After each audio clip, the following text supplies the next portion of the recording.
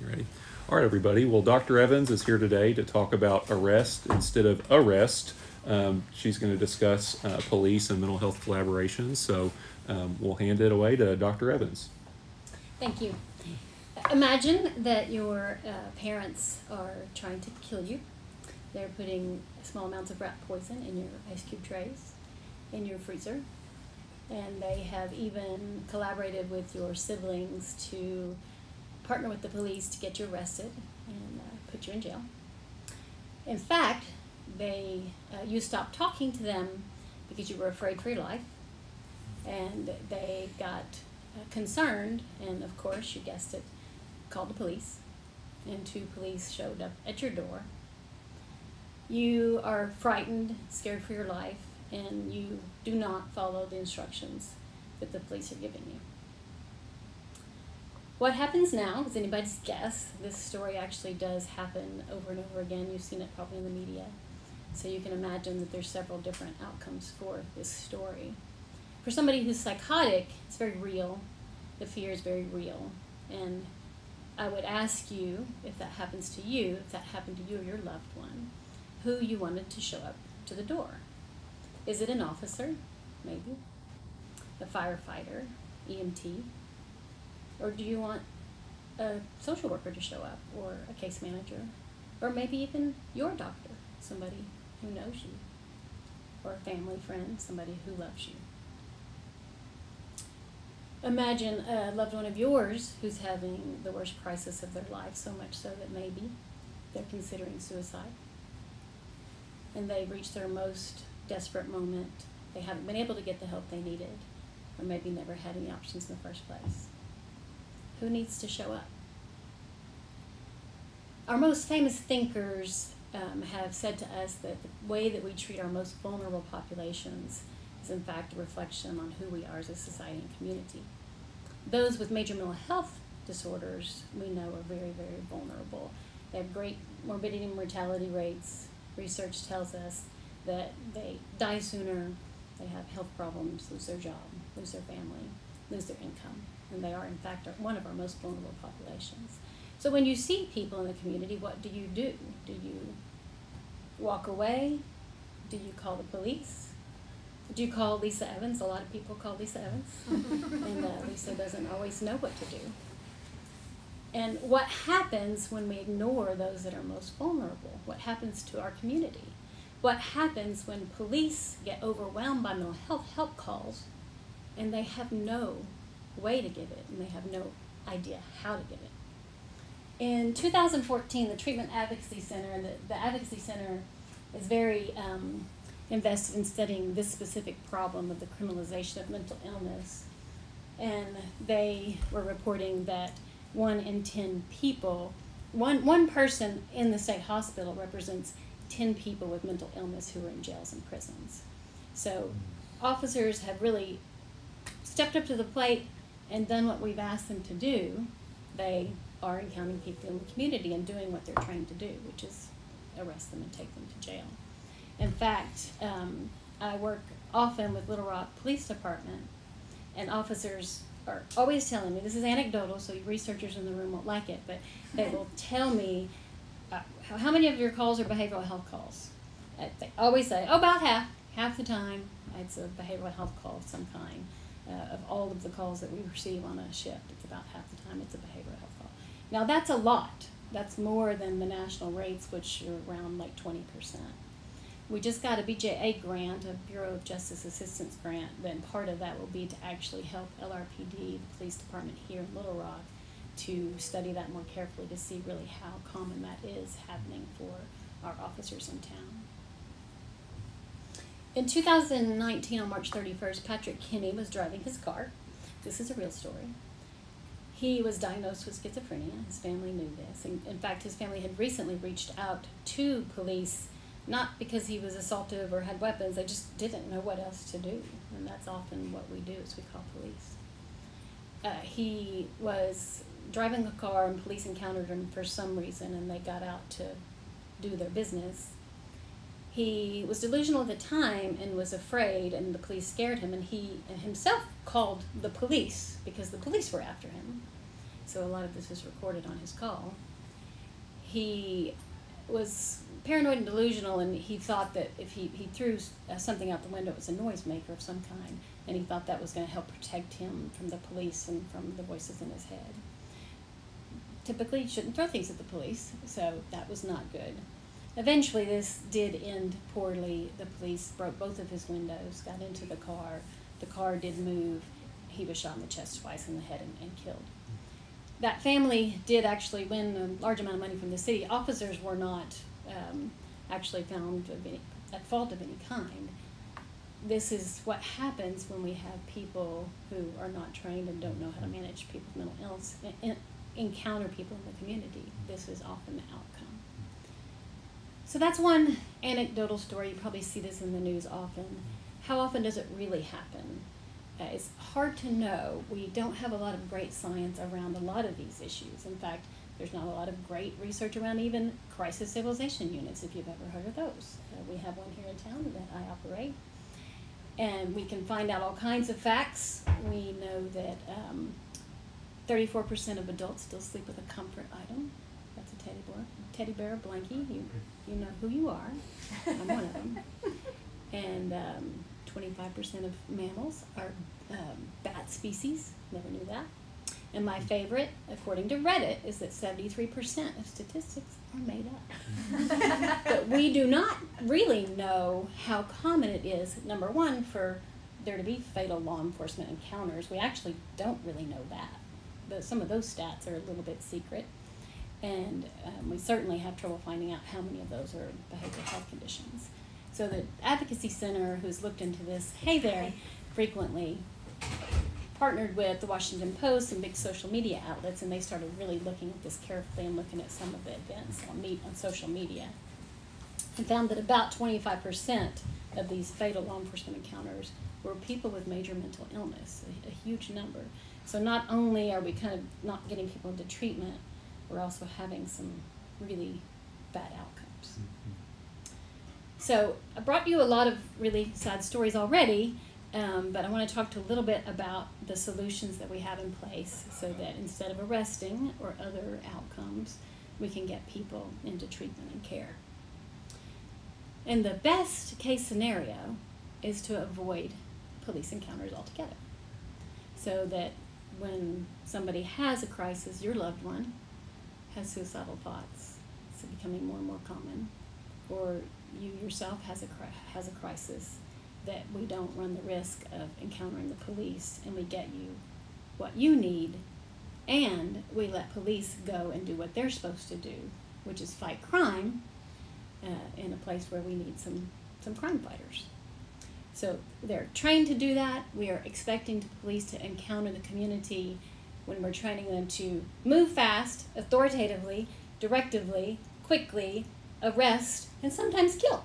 And I mean, that's what we're, we're asking them to do.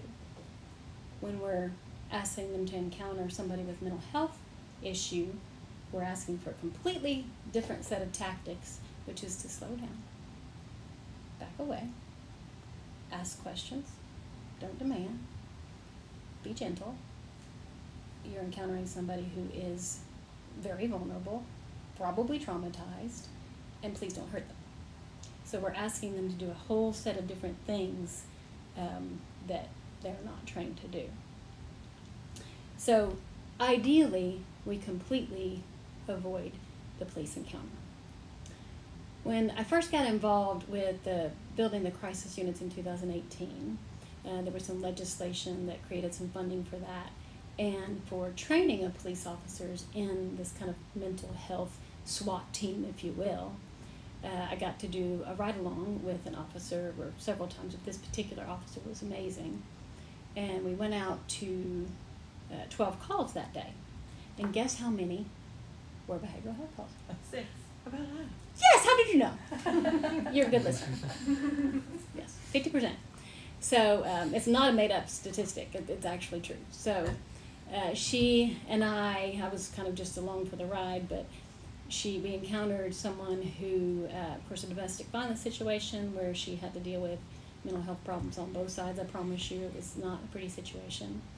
Um, someone who clearly had some hoarding tendencies because inside their car was everything they owned, it appeared, and a dog on a 100 degree hot Arkansas day.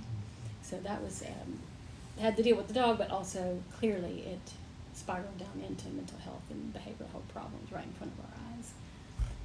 We responded to a house of a, an older woman who had the FBI was going up and down her street tracking her down, and the mushrooms in her yard were shooting poison darts. When we went into the house, it was littered with uh, Seroquel and all kinds of psychiatric medications that didn't appear to be consumed.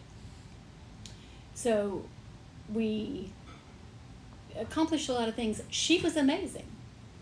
Uh, she had had a little bit of training and had done some of this before, and I think got a lot of the 50% of the calls because she was good at it.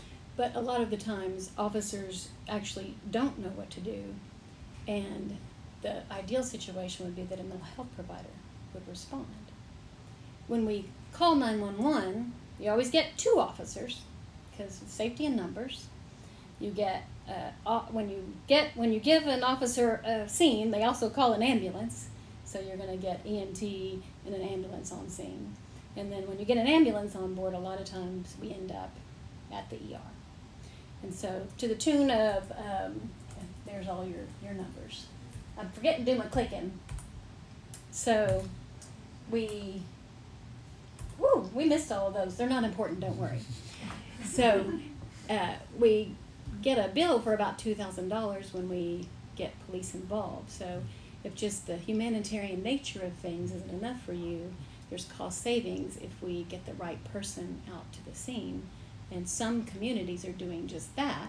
They are getting the call at dispatch and sending out a mental health professional of some kind to the scene and not sending any kind of officer at all. Um, so that that's the best case scenario, and I don't know. Probably all of you in this room know that therapists aren't paid two thousand dollars an hour, so uh, we would find cost savings in that model. One other option for diverting people from the justice system into care is the CIT model. The CIT model is a crisis intervention team training. You uh, see familiar faces here and out in the audience, and I know some of you are familiar with that. That was part of that 2018 legislation, trying to kind of disrupt this path from police into prison for people with mental health disorders. Mm-hmm. And so CIT gives us an option that is still a 24 7 response. Often we don't have therapists 24 7. We like to work Monday through Friday, banker's hours, but we need a 24 7 backup system, and officers provide us with that. So CIT suggests that we train a small number of officers that are ready, they understand a little bit about mental health, they have different skills to de escalate, and they can be called out to a scene when we know it's a behavioral health call.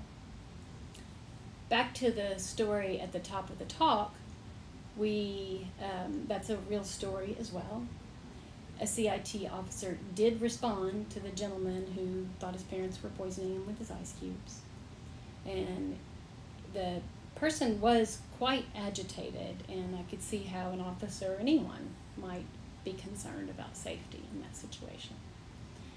But that officer identified that that was a behavioral health problem with his CIT training and did de escalate and got him over to the crisis unit and got him medicated, and he's been well ever since. He has, has had a subsequent visit to us, but that's a good thing. He's, he's been well ever since. So that's a success for CIT. It's not always 100% successful. It, it, it, sometimes people don't want to go to treatment. Sometimes officers still don't know what to do.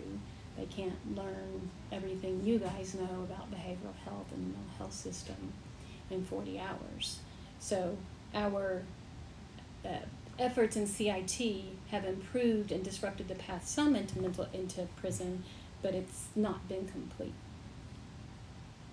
what I'm here really to advocate for today is what's called a co-responder program as a better solution to disrupting that path into incarceration.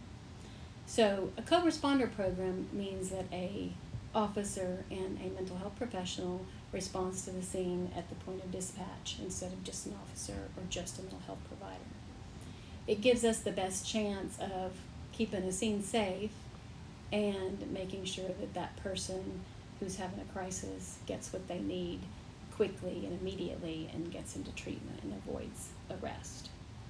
There are lots of co-responder programs that are being built across the country now, and they're having a lot of success in diverting people from the justice system.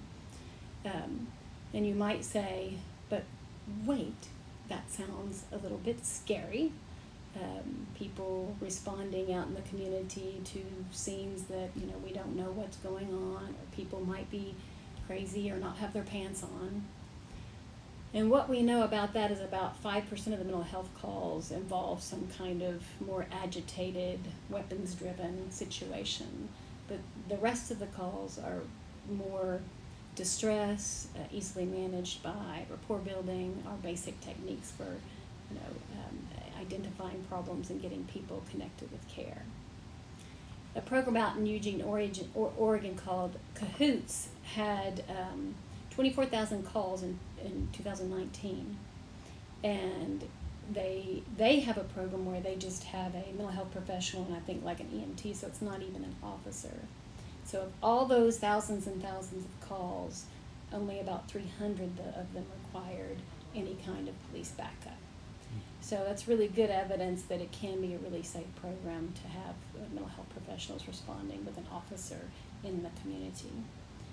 The other great thing about the co-responder program is that it um, it creates this really close relationship between officers and a provider where we really do learn from each other rather than just in a 40 hour training, which is great. I do CIT myself and I love it. Uh, but it, it creates that relationship where you have this ongoing opportunity to learn from each other about what officers need and experience, and the mental health professional being able to share at each event those kind of very complex presentations of mental health and how to use our mental health system for, for whatever it's worth. So the co-responder program helps kind of overcome some of those uh, failings of CIT and other attempts to kind of collaborate with uh, police. So does it work? Um, some so uh, we there's a lot of um, kind of newer research around this. The UK has definitely uh, documented that the co-responder program does reduce arrests, which is essentially what the, the goal is to many of these police and mental health collaboration programs. More recent research here in the States have showed that uh, it is very effective in making the crisis de-escalation more effective, quicker, people get de-escalated, and it works better when you have the co-responder program in place. It's been working to connect people with services. Again, that's what we're trying to do, is get people out of the community into care, not out of the community into jail or worse, into the grave. So that is, there's some evidence that that's working very effectively in the co-responder program. It is showing that it is, there are some studies that are showing that it's reducing arrests when the team goes out together, that they're not resulting in arrest as often as other teams going out to respond to behavioral health issues. And then if all of that's not enough for you, it does appear that there is some cost savings that's happening when we divert people from the justice system across those different layers of mm. court, jail, police. So, you ask, of course, what can you do um, to help you know, collaborate and support these kinds of initiatives? And I'll, I'll talk about three things change, learn, and share. So, for all of you listening and here today, any all of your mental health fiefdoms, if you can think about things that you can do in your world to improve access to behavioral health care. Ultimately, if everyone could pick up a phone and get what they needed right then, not tomorrow or six weeks or when the ambulance gets there, um, that's why you always see me running is because I, you know, we, we have to move fast and we have to get things quickly. Um, we kind of life is on the line, not to be too dramatic. But we, if we can all think about how to get more service to more people quickly, we might not even really be having this conversation. So, in all of your areas, in our department, in our hospital, in our community, thinking about ways how we can get access to people who are the most vulnerable. Right now, that's not the way that it works. Um, the crisis unit, um, which I run here in Pulaski County, and we have some other people. I see some people from the Northwest unit here. Um, you know, that's one of the things that we do is really try to reduce barriers to care for people who, who need it the most. So I ask you to, to change one thing that might increase access to care as you as you leave this talk. Second would be to just learn, learn more about this. You know, talk to me, come see me, come out to the crisis unit if you haven't been there. Talk to us, send your students, send your colleagues. Um, if you want, you can actually be a CIT officer trainer. I can make that happen for you. And all you have to do is talk about the thing that you know the most and share with officers need to know about TBI. They need to know about dementia. They need to know about autism and developmental disabilities and trauma for sure. So we have a CIT trainer in our midst, Dr. Bull, and maybe some other people in the audience that we've recruited in and who are um, occasionally providing training to officers. And lastly, just share with the people that are in your sphere, your students, your patients, your colleagues, your family and friends, a couple of things. One, you anyone can call 911 in the state now and ask for and you could use a lot of different words but a mental health officer or a CIT officer but something related to a special officer to respond to your crisis or respond to your patient's crisis you will probably get a CIT officer you might get a co-responder team co-responder teams are actually there's some that have been functioning for a, few years in Fort Smith, and they've been really effective um, in their mission to kind of get people into care. And as I mentioned, Little Rock Police Department is now building co-responder teams here through a grant and through the leadership of the new chief, Chief Helton. And so you'll start to see those develop more over the next few years. So you might also be able to get access to that. So you can share that information with the community. A lot of the community doesn't know about this. Thank goodness for Tim Taylor. He always gets us on TV when we need to. uh, and then, of course, the Crisis Stabilization Unit, for those of you who don't know, I know a lot of you are friends of the CSU, um, but make sure that you're aware of that service and that you have that contact information 340 6646 uh, 24 7 501 and uh, make sure you're sharing that information with people who might need it. and I will leave you with this idea that if you have a baby, you should probably call an OBGYN. If you need your hip replaced, you should probably see an ortho. If you have cancer, you should see an oncologist. If you have a mental health crisis, your best bet is to be able to see a mental health professional. In my view, the, one of the best ways to do this in our community effectively and efficiently is a co-responder team. And I would love to hear your questions. Thank you, Dr. Evans. Mm-hmm. Can we see the chat? Um, yes, yeah, we can. If we click on it here, um, I'll tap the mouse. Let me see if I can pull up the chat box for us here. It doesn't look like there's any questions. If anyone has any questions, you can put them in the chat, um, but I'll get us started here. Um, so this is a really cool model, and the first time I've ever heard about it in, in my residency training.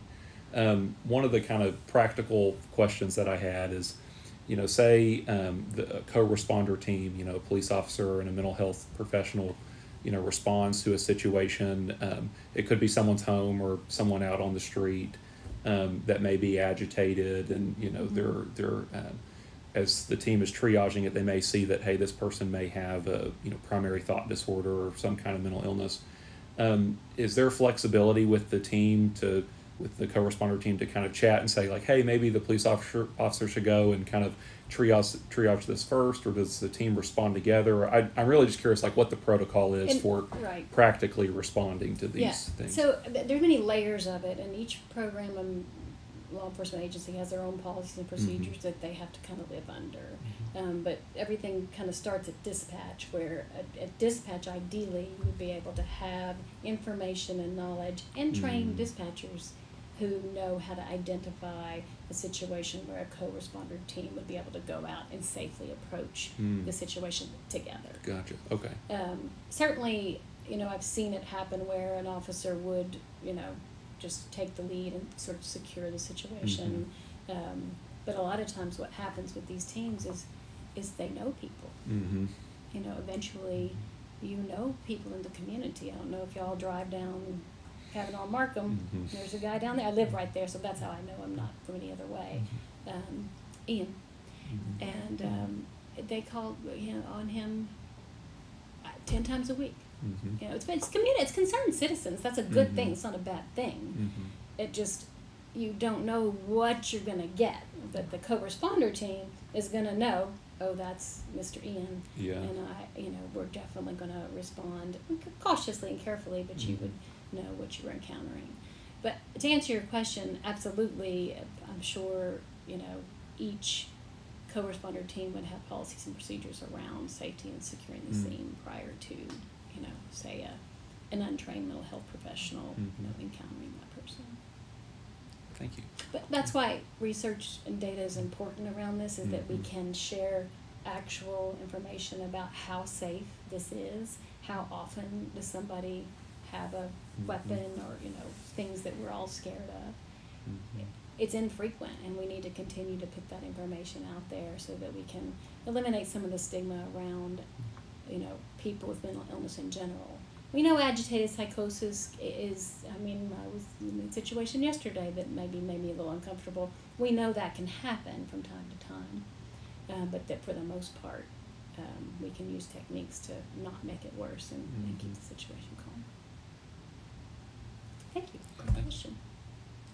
I wanted to ask a question, and actually you started covering it about dispatch. How does Mhm. that training happen? Is it the same type of training model? Yeah, I, I've actually not done dispatch training myself. Um, it is similar. I know that they do have some um, variations in the CIT training specific to dispatch because obviously it, it would be a little bit different on Yeah. the phone. But yes, dispatch is an important part of the um, true co-responder model or true police mental health collaboration model Mhm. where you would be starting at dispatch and relief. Because things can sound like a lot of different things when Uh, somebody yeah. calls in for, And they're already really good at it. Like Mhm. even though they don't have a lot of training, they can they know Mhm. um, that a lot of things around like how it's coded. You know how they're actually documenting this, how they share it with police, Mm. what how they use their data when people call in, um, and certainly there's a lot of training opportunity for de-escalation on the phone, Mm. so that you can talk to somebody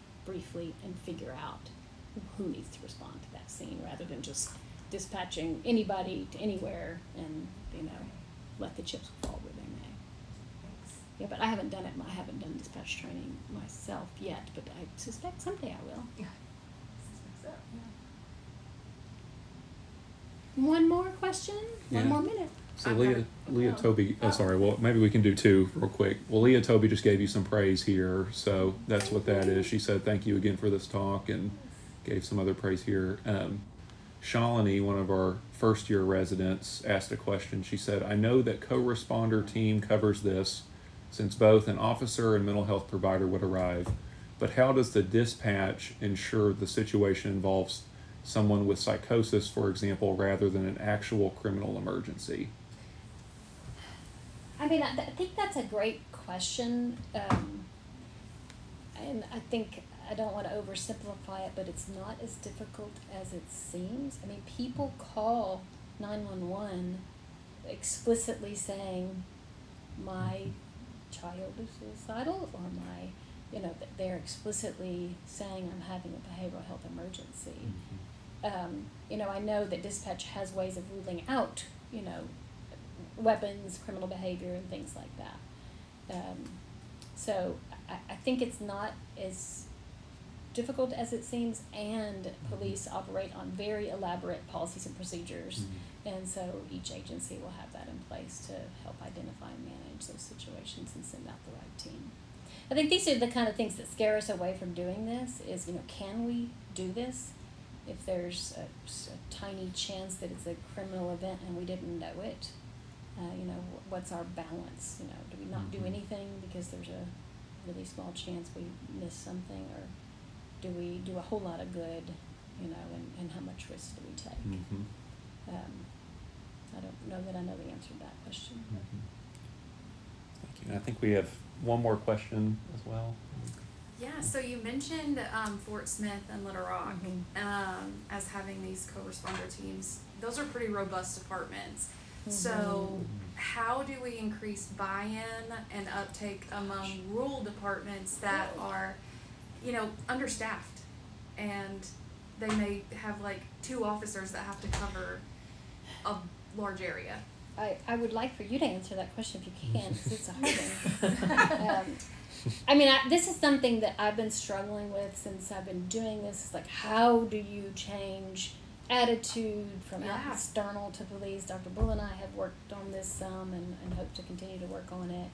The legislation itself kind of excluded rural departments from some of the requirements because they're too small to send an officer away to training for 40 hours. That just means there'd be no police in town for a week. So a lot of places can't do even CIT training um, as robustly as we would like.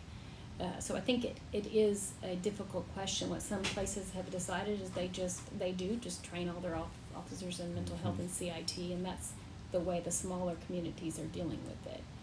Interestingly, um, some of the stuff I skipped over. Oh no, we can't see it, but um, that you know, our mid-sized communities and smaller communities are the ones that are still seeing the increased rates in um, fatal encounters with officers is starting to come down in larger communities, and which is a good sign and a good thing.